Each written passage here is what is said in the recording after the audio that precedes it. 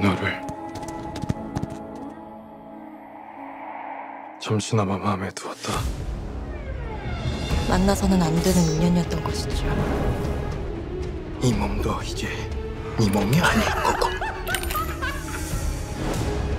너 따위에 지지 않을 것이다.